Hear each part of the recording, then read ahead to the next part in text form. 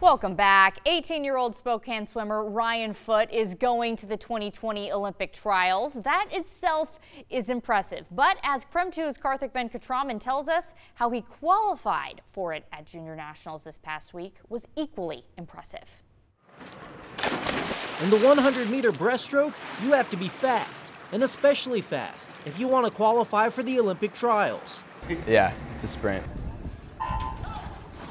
Spokane's Ryan Foote was at Junior Nationals with one purpose in mind qualify for the Olympic trials. He needed a time of a minute and 3.29 seconds to do it.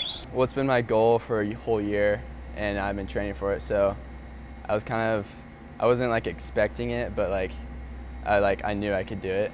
In his first race, he came up short.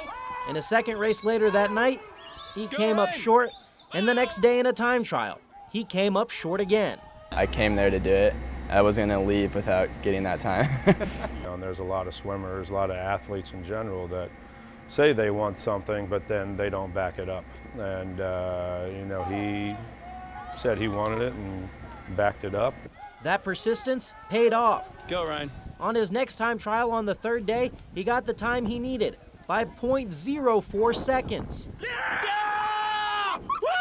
It's a fun story to tell because, uh, you know, he didn't give up. He didn't mope about it. Of course, he was disappointed, but, uh, you know, he got back up and kept attacking it and kept attacking it. I was just like mentally exhausted. Like, I was just like, finally. It's even more impressive that he qualified, considering the breaststroke has only been his main swimming style for two years. He swam long distance races in his younger years before the fast 100 meters. I guess sprinting is a lot more fun because it's shorter and like it's like just more exciting. He says since he hasn't been doing the breaststroke long, he has a lot he'd like to improve on. But he believes his work ethic and persistence will make him as good as he wants to be. How high do you think your ceiling is? Um, as high as I want it to be. For now, he's good enough to make the Olympic trials. Well, that's pretty darn good. Reporting in Spokane, I'm Karthik Venkatraman, KREM 2 Sports. Foote will swim for the University of Arizona next year. The Olympic trials are next June in Omaha, Nebraska, and Foote will have to finish in the top two there to make the Olympic team. That's it for sports. We'll be right back.